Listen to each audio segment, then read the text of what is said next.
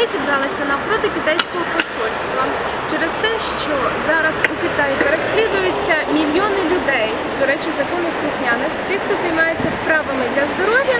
Фалундафа вже майже 15 років триває найжорстокіша, можливо, за всю історію людства кампанія по винищенню ні в чому не винних е, громадян. Відомо, що до цих людей застосовується понад 100 методів катувань у тюрмах та концтаборах. Вони е, працюють як безкоштовна робоча сила у трудових таборах.